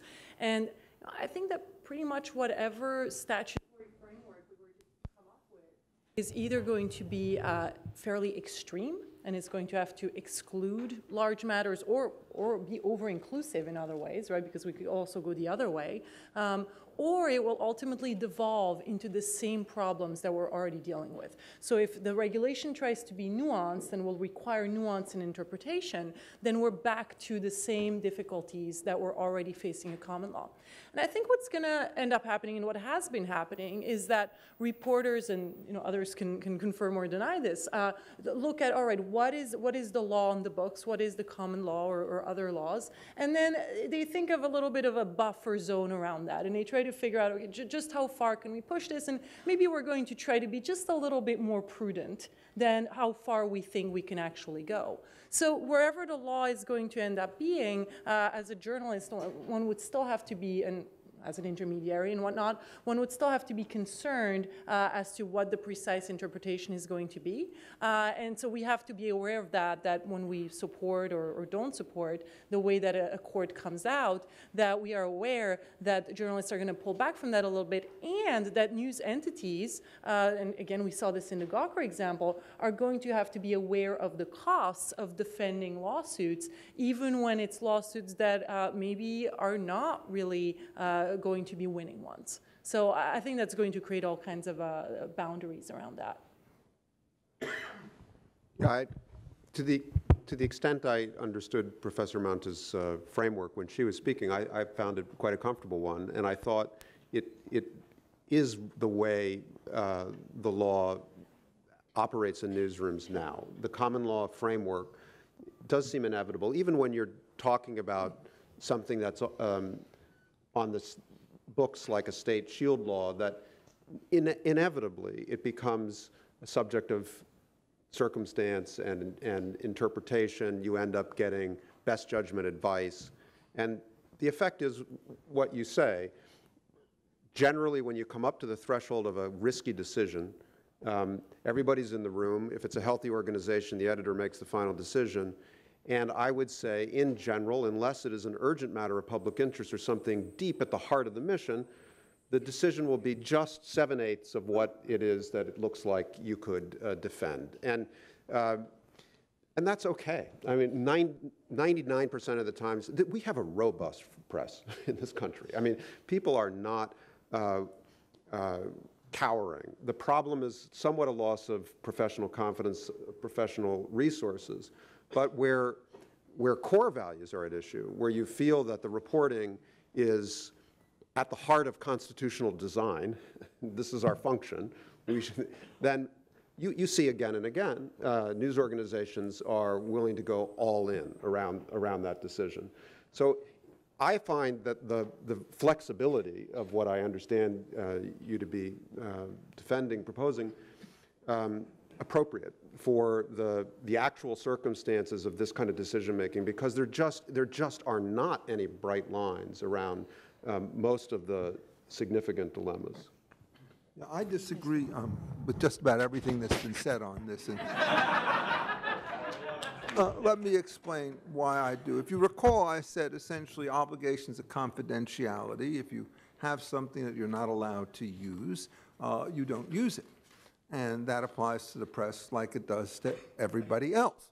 Uh, So to me, all this wonderful stuff about judgment and discretion on how you talk about it is perfectly appropriate if you find information in the public domain about somebody. The famous case of Cox v. Cohn is an illustration of that, in which there is now public record that somebody was a rape victim, and you can decide in good journalistic sense whether or not to uh, keep it down. And everything that the dean said, I think, is going to be appropriate in this case. Uh, if I think somebody tried to shut him down from publishing it, uh, the current law is you can't do that, and I think that's probably the correct answer. Uh, on the other hand, if you know the information is stolen or if you're stealing it yourself, I think jail is too kind. Um, somebody like Snowden, I mean, the idea that this man, as a low level employee, can determine national policy as to what is or is not released, and then can justify himself by turning it over to a bunch of rogue reporters to decide which in the public interest is or is not there, is utterly and completely unacceptable. Uh, the rule is if the press gets stuff which it knows is stolen, it doesn't read it, it essentially returns it. Now, this, of course, has one very serious downside, and one has to talk about the institutional issue, which is just as I don't trust you, I'm not really keen on trusting the government because there is a huge risk of overclassification of information that ought to go out by these people. So what happens is there's been too little talk here of institutions and too much talk of entitlement. And I think the correct situation is somebody like Snowden wants to do this. He could write the following editorial. Um, in my work, it seems to me that government surveillance is more extensive than it ought to be. And then somebody could have a congressional committee or perhaps some standing body which can decide A, if it's true, and B, how you ought to reform this. And C, can actually demand, under some circumstances, the declassification of doctrines that are already classified. Uh, but the thought that you're going to delegate those decisions dealing with national security, the life and death of other individuals, to journalists seems to me to be wrong. So you're asking what the legal rule is. If you know it's stolen, you can't use it, you can't receive it, you can't do anything with it, is in fact uh, the correct rule. And at that particular point, the riposte is having turned all the stuff back and not released it and not used it and not cooperated with it, uh, then you have to have the public inquiry as to whether or not declassification is appropriate. I think if you're going to try and have these delicate ex post judgments on these things, it's an open invitation for disaster. I once wrote a book called Simple Rules for a Complex World, and this is a case in which those seem to be appropriate and perfectly consistent with the common law tradition, utterly inconsistent with the constitutional tradition, so much worse for the constitutional tradition. Well, my next question may, is to you, Professor, uh, to uh, Mr. Jaffer. So let me uh, give you an opportunity to speak to my question as well as that. One of the points you made in speaking was that um, it had perhaps been the case, you hypothesized, that over the last eight years, courts may have trusted the executive more than they will, you were projecting, in the next eight years. And I was wondering whether you are putting that forward as just a fact of human nature or whether you think that, in fact, should inform judicial decision making. Um, because, of course, when judges make a decision about how the executive acted in one circumstance, its ruling is going to affect future executives making decisions. So I wasn't quite sure how you intended that. So you can perhaps answer that and anything else you want to comment on. Sure. So, so um, you know, when, whenever, when- whenever I, I would argue one of these national security cases challenging the scope of the government's authority, one of my strategies, and this was, you know, a common strategy among civil liberties lawyers and human rights lawyers, was to uh, spin out the ways in which the authority could be abused. Um, sometimes that worked and sometimes you know it, it didn't. I, I think that uh, judges do consider the possibility of abuse in the future, but I, I think that um, the possibility of abuse in the future can sometimes seem remote or uh, speculative in a way that um, you know I'm not sure how many people. Um, expected the developments that have taken place over the last few months, and, and those developments, I think, have changed the way that people see, a lot of people see executive power. Um, um, you know, when we, when we argued the, the, the drone cases, the targeted killing cases, um, the, main, the main argument we made was that, well, you may think that this guy who's, who's been targeted by the government uh, right now is a, is a bad guy, but you don't know who the next administration is, is going to target. I, I think that the, the specifics of the case before the court had so much weight that, um, in, in my humble opinion, the courts didn't always put sufficient uh, or give sufficient consideration to the possibility uh, that that power would be used in different ways in the future. That may just be a fact of human nature. You know, people deal with the concrete facts that are before them, and you know, considerations of abuse 10 or 20 years from now, uh, those will always seem uh, remote, and and and people will trust that judges at that point will act differently. Um, you know, so maybe it's maybe it's inevitable, but, but inevitable. But but I think it is a fact that the the that the courts. Um, uh, the courts were, were highly influenced by the specifics of the cases before them. Um, and whether that's a good thing, uh, you know, whether that's a good thing or not. So just, just, uh, just Well, judges are always deciding the cases before them. But, No, that's, you know. that's right, but it's a question, they're deciding the case before them, but they're deciding, you know, in deciding the, the, the case before them, they are often sketching out the authority that the government, or weighing in on the authority that the government has. Professor Epstein, you wanted to comment on this one, too? Yeah, I mean, there's no surprise there. Look, I I still want to respond to your other point. Okay, but that's true. I'll have to respond to this one, and you should go after that one, and, and go after. Um, I'm all in favor. Look, I think as a matter of jurisprudence, it's extraordinarily dangerous to say that the rules that I apply to one administration are different from those that you apply to another. Um, I am in the rare position of having very little respect for the current or the past administration, but and, but that doesn't seem to me to matter one way or another. And in fact, one of the reasons why the rule that I mentioned, if you get stolen information, you return it and you don't use it, is it's invariant to administrations and it's much more easy to administer. The other point on the drones, let me explain, I think, much more concretely. There were two major issues on this question, one of which I think was a loser, the other was a winner. Uh, the loser was well, you can't bomb citizens when they're overseas engaged in acts of treason against the United States because you have to give them a trial. To which I think the right answer is we've got you, guy. Either you come out and submit to the jurisdiction or we will treat you as though you are, in fact, somebody who's an enemy of the state to be treated like any enemy combatant. And I think that's the powerful argument. But the other one on the administration is what caused it. They used to say we really had surgical precision. And what they did is they had some guy who was a known terrorist sitting at a table with eight people, and their calculation was if eight people were sitting at the table with one known terrorist, they were all terrorists. And it turns out they weren't. And so at that point, the serious overbreadth problem with respect to the use of drones became much more important. And as that information became much more public, the support for the program, it seemed to me, collapsed. And what you had to do was, again, try to narrow its scope uh, because the excess problem is something which you always have to face. It's a political judgment, I think, to some extent. But boy, oh boy, if you're being 10 to 1 on the wrong side um, and you could wait a day or so to do something else and there's no imminent catastrophe, uh, the administration will lose support, and that's what happened. Now you should answer. I, just want to make one point. I feel like I'm about to be struck by lightning for saying this, but I think I disagree with Richard. Uh, and on, the point of on the point of um, uh, the, stolen property, actually, let's go there because Richard and I we both love property law, and. Uh, uh, when we're talking about the government, right, and, and Edward Snowden stealing the, the information, Well, that was sort of some of it at least, and we have to differentiate between the different types of pieces of information that Snowden released, and there, there are different judgments one can make about them.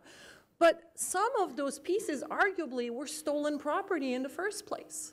Whether one agrees with that or not, as, as far as the, the things are concerned that the FISA court blessed, fine.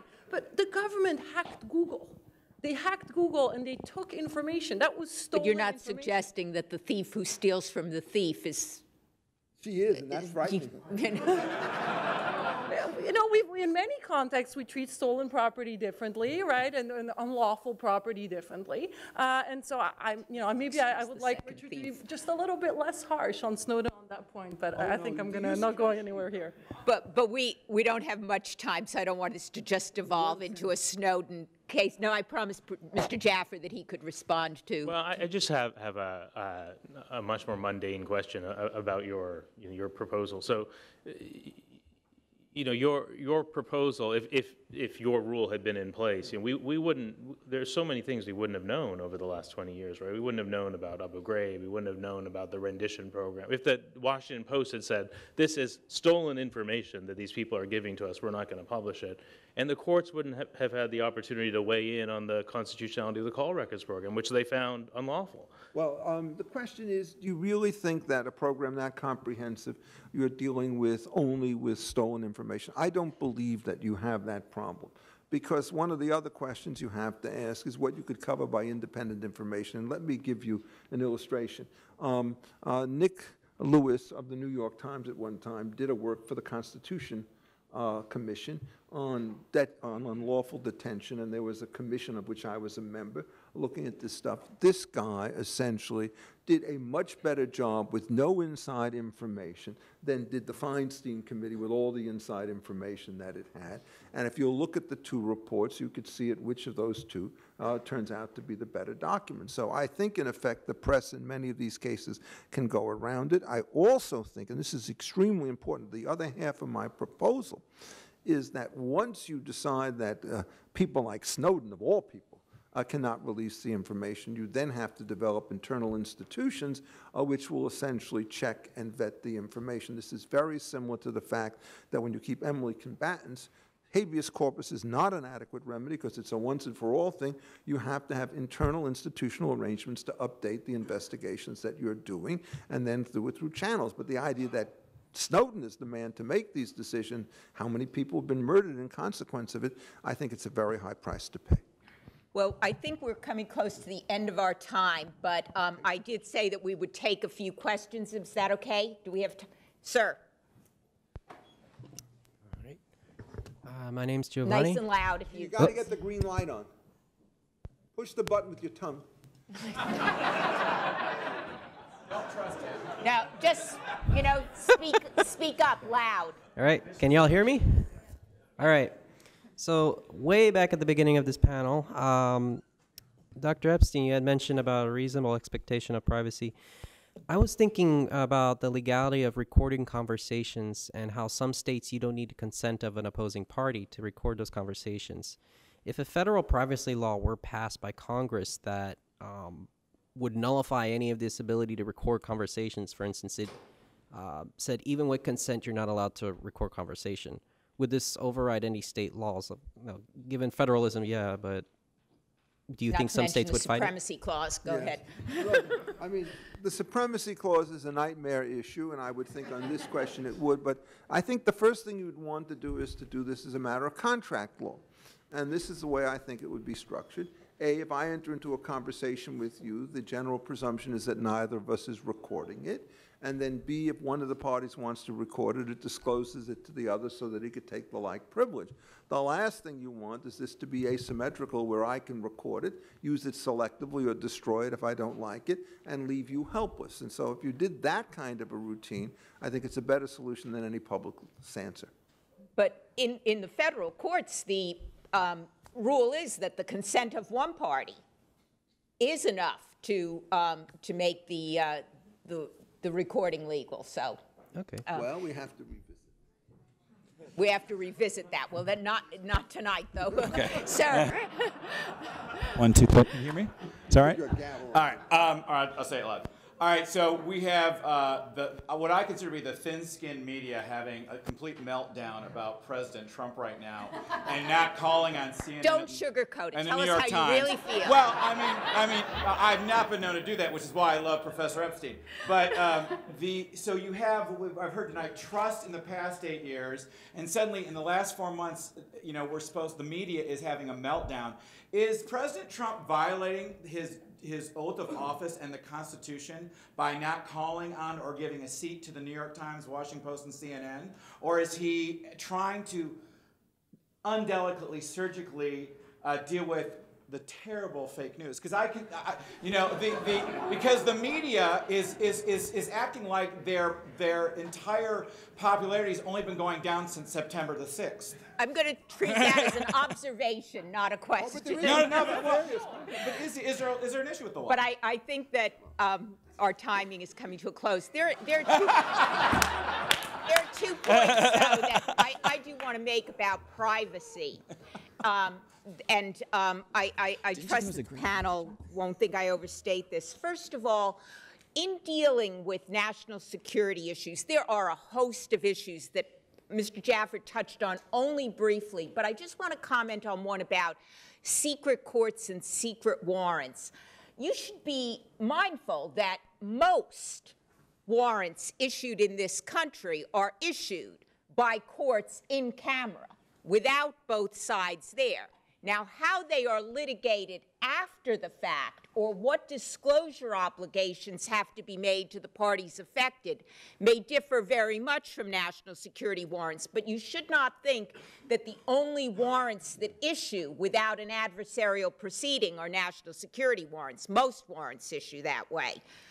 The other thing I wanted to observe is that um, the Supreme Court's pri- privacy jurisprudence in the criminal area, criminal law enforcement area, um, bears your attention because they have not yet come up with an explanation in cases like Jones and other cases for exactly why they are reaching the conclusion that it's unreasonable. And why I say this is because a cynic might view it as the problem is that it can be done too effectively now through modern technology because it was always the understanding that if you put a police officer in an unmarked car and he traveled around all day with someone, you could surveil them. There was no need for a warrant or anything to do that. But you can't put the GPS tracking device on. And it sometimes might seem that that's because it's going to be, you know, there's no chance of losing the guy. The police officer might lose the guy. So I don't think that Fourth Amendment jurisprudence can reduce simply to, well, you've got to give them a sporting chance. Um, You have the trespass issue. so, so um, there, I think there's more to come in this whole area of criminal protections, which have a privacy implication, as well as the um, the other areas. I want to thank everybody on the panel. I want to thank all of you, and of course our hosts. Thank you.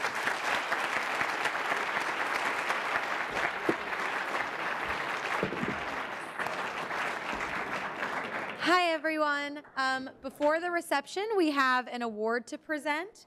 Um, the Columbia Law School chapter of the Federalist Society is honored to present Judge Richard Sullivan with our Columbia Law Alexander Hamilton Award this year. Judge Sullivan joins former recipients of the award, Judge Michael Mukasey and Chief Judge Preska, as an individual who has provided support and engagement with Columbia Law School and the Federalist Society chapter here this year.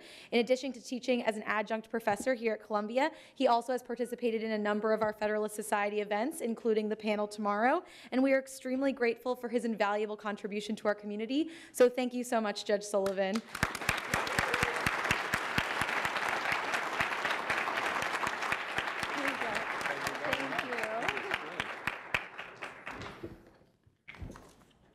Well, thank you. I the- what I've learned from the events of the last week is that one should always wait a few moments before you accept an award. Um, so uh, they said I could have the microphone for a few minutes, and so this is the only way you can silence Richard Epstein, so I'm going to take advantage.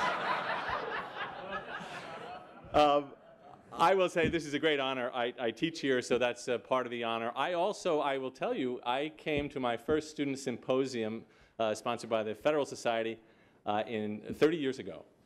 I think you were there, actually. You spoke. 30 years ago, after my first year, after my first year in law school. Uh, and so this brings back a lot of memories. I will say this is a great event. It's great to see so many people here. The panels are just stocked with talent, and so I'm excited to see these panels, as I'm sure you are. One of the things I have noticed over the years at Federal Society events is that uh, they tend to feature appellate types and professor types. The district courts are not terribly represented at these things. And so I've often wondered why. And I was at an event recently, and uh, a judge who was on the Court of Appeals explained to our, the audience that we were having this conversation with, he said, well, you're more of a retail judge, is what he said. and I thought that was an interesting comment, and I don't think he was suggesting that I'm in sort of the Walmart of judging. Um, I think what he meant, I mean, I think he would acknowledge that district courts do, of course, decide important issues of law, and that, in fact, we get the first crack at all the really interesting legal issues. Um, but I think he's right that we rarely get the last word, and our primary function really is to interact with the public and the people we serve through the courts. And if that's retail, then I'm okay with it. Um, the fact is that we really do deal with litigants. We deal with the parties and the lawyers at hearings and conferences and arguments. Uh, we pour water for witnesses as we listen to them testify. Uh, in criminal matters, we sentence an individual, looking him in the eye and explaining to him and to his family and to the victims and their families why this sentence that might involve years or even decades is just and appropriate and right under the law. Um, that's difficult at times, but it's noble and it's inspiring, and so I have to say it's, uh, it's a good job. And one of the other things we do in interacting with the public is that we preside over jury selection. Uh, and it's important to remember that the jury is, they're our partners in the law. They're the, our partners in the judicial branch. Uh, judges are, in many ways, immune from uh, the public political process once we're appointed and confirmed. But the jury is there, the ultimate check on judicial abuse and executive abuse, and that is the most democratic of institutions. And so we get to ask jurors questions to make sure that they're free from bias and fair and impartial. And also we ask questions to determine whether uh, or, or, how the lawyers ought to exercise peremptory challenges. And so we ask questions like, what do you read? What's your primary news source? Uh, what do you do for a living? What do you do in your spare time? What do you watch on TV? And one question that I ask frequently is tell me someone you admire, which is a very interesting question. It provides some insights as to who this person is. I don't know whether it helps you pick a good jury or not, but it's an interesting question. And you get all manner of, of, of answers to it. And at the end of a case, I invariably go back and talk to the jury to thank them for their service, because it really is service. And once in a while, they'll ask me, well, Judge, how would you have answered that question? What would your response be? Who do you admire? And I invariably say, Hulk Hogan. no, no, I don't. No, I don't. I don't. Uh, uh, I say Alexander Hamilton. and typically, no, it's the truth. I say Alexander Hamilton. And typically, a juror will say, I have the soundtrack. Um, and the reality is, if you don't know it, if you're living under a rock, Hamilton is, uh, is a star these days. He's on Broadway. And uh, uh, I have not seen it. Uh, I'm a federal judge. I cannot afford the ticket price. Um, but my fascination with Hamilton goes way back. You see, I, I, grew up in Long Island in a suburban town that was built after the Second World War and the building boom of that era. And it was farmland that had been plowed over, and they built a lot of houses that looked just like the ones next to them. No, I was on the North Shore, actually, in Glen Head. But, um, and it's not a fancy neighborhood, but the streets had very grand names, and they were named after presidents. And so there's Washington Avenue, and next to that is Lincoln and Garfield, and on the other side, it's, uh, it's McKinley and Roosevelt. It's crossed, uh, intersected by Harding and Coolidge. It wasn't until I got to college that I realized this guy must be a Republican, and that Roosevelt was not, not FDR, I think it was Teddy. Um, but at the top of this neighborhood was a little circle with whatever was left over, and that was my block, and that was Hamilton Square. So I always had a real uh, sense of connection to Hamilton. Uh, and then I went to the College of William and Mary in Virginia, which is, uh, that's not Hamilton country. Um, uh, that's Jefferson's alma mater, of course. And, uh, but it didn't uh, prevent me from continuing to be a Hamiltonian. And I came back here, and for the last 30 years, I have lived within a stone's throw of Hamilton's grave. If you haven't been, you should check it out. It's in Trinity Churchyard downtown on the site that was originally King's College and then Columbia University before they moved uptown. And so I pass it now every day on my way to the courthouse. It is now, actually, it is a tourist trap. It's sort of like Jim Morrison's grave in Paris now. You get a lot of people going, which is, hey, not, not a bad place to go. Um, but so I think of Hamilton often, and I think about his connection to this world. And, uh, and so I ask myself, why do I admire Hamilton? And I guess there's a couple of reasons. I admire Hamilton because he's an immigrant, first of all. Now, that's a charged term these days. But whatever you think of illegal immigration, whatever you think of immigration policy, it's undeniable that immigrants, immigrants like Hamilton and so many after him, built, have built this country. And so I pass that gravesite and I think of him and I think of my grandparents from Ireland in the 20s and my father-in-law from Cuba in the 60s. And I think these folks came here with nothing, literally nothing, except their ambition, their talent, and their determination to make it here. And I think, well, gosh, that's a legacy that's worth tapping into. And one of the great things about being a retail judge is you get to swear in new citizens. If you haven't experienced that, you really should. Uh, it is, Judge Raggi was a district court judge for 17 years, I think, right? Uh, and uh, she could tell you that there's nothing quite like it. Swearing in 150 or 60 new citizens from 40 or 50 countries and have them take the oath, pledge allegiance to the flag, and come and shake your hand as they get their certificate of citizenship, many with tears in their eyes. And I think of Hamilton, because uh, he was one of those immigrants. I like Hamilton because he's a New Yorker. I mean, he is. I mean, New York was a town basically at that point, a few thousand people, really. Um, but even then, it was a place of creativity and energy and commerce, which it is today, too. And as I walk by that graveside, I think to myself, what would he make of this city? And he's now in the heart of the financial district. What would he make of this? And I think most of the framers, including the Virginia crowd, would be appalled. I think they'd run back to Monticello and, uh, and hide. I think, I think Hamilton would be intrigued. I think he'd be amazed at the energy, the chaos, and the, just the size of it all. Uh, and I admire that too. So I like that about Hamilton. I like that Hamilton was a lawyer, not a, you know, a thinker writing about Rousseau and Montesquieu while stroking his chin. He was a practicing lawyer uh, with clients and cases who stood up on his feet and argued. And I think that shows in the Federalist Papers, and it shows in the concept of a government that he helped create and uh, institute. So I like that about him too. And I like his choice of heroes. I think if you asked Hamilton, the way I asked my jurors, who do you admire? Who's your hero? And I think without hesitation, he would say George Washington a person who was, in many ways, just so much grander than everybody else of that era, and a person who was able to tap into Hamilton's genius and to harness it for this new nation. Uh, when I walk past that graveside, I then get to the courthouse, and right next to my courthouse is the state courthouse. That's the law and order courthouse. You've all seen it, I'm sure. Dun dun, right? It's, but over the, over the top, over the entrance, there's a quote, and many of you know it. Um, anybody know it? Well, the true admi- this is what the quote is. It's a quote from Washington. The true administration of justice is the firmest pillar of good government. And that's taken from a letter. It's actually a misquote. It's really the due administration of justice, not the true, but I don't think it changes the meaning. But what, that's from a letter that Washington wrote to the first Attorney General of the United States, Edmund Randolph, a fellow Virginian, a guy who went to William and Mary. Uh, and Washington was talking about the need to appoint men, and then it was only men, and a certain kind of man, uh, to the federal bench. You remember that the Articles of Confederation did not have federal courts. And so that was one of the great failures in the view of the folks who framed the Constitution. And so federal courts were recognized as important.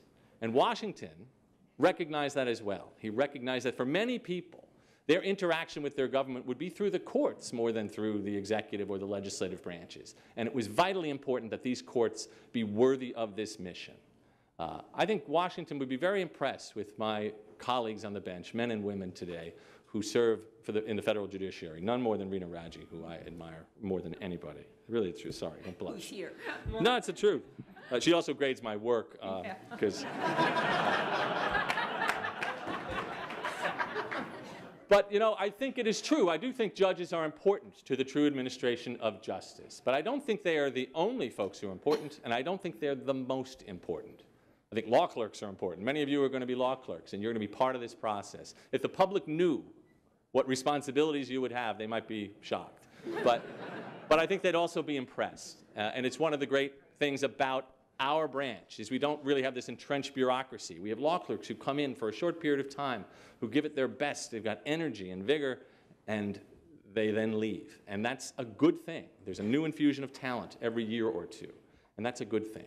Jurors are part of the true administration of justice. I believe that the older I get. I see that they are wise, they know what they're doing, uh, and they are, as I said, the most democratic of institutions. But I think the greatest, the greatest pillar for the true administration of justice is lawyers. I really believe that. Everybody in this room either has or will eventually get sworn in to the bar of your state uh, and your federal bench. And when you do, you will take an oath. You'll take an oath to swear to, in which you will swear to uphold and defend, to support and defend the Constitution of the United States. Now think about that. Uh, I mean, teachers, architects, accountants, bankers, they do very important work. But none of them really take an oath like that to support and defend the Constitution. That's your job. It will be your job to make sure that the constitutional values and rights and principles are preserved. It will be your job to make sure that the courts that you are admitted to are better than you found them. Uh, that's an enormous responsibility. Uh, and it's one that I think lawyers do take seriously. And there's no organization that takes it more seriously than the Federal Society. I really mean that. For 35 years or so, uh, they are committed to making sure that there is debate and discussion about the First Amendment and about so many other rights and legal issues. Uh, I don't think there's an orthodoxy here. I think there is, uh, other than a conviction that getting the best and the smartest and the most articulate people on any issue on the same stage to give their best and strongest arguments will elevate the thinking and the results of legal discussion and debate. I think that is really admirable. I think your being here today demonstrates that. Uh, and it's your job also to then continue that when you go back home uh, in the communities where you work, at your schools uh, and in your, in your cities. So uh, this is a great honor. It's one that uh, I will certainly cherish forever. But I'm mostly really looking forward to being with you this weekend. So thanks for being here. Thank you to the folks at Columbia for this lovely gift and for sponsoring this great event. I hope I'll see you at the Low Library where we're headed next. I'll leave it over to, uh, to these guys to tell you where to go. But thanks so much.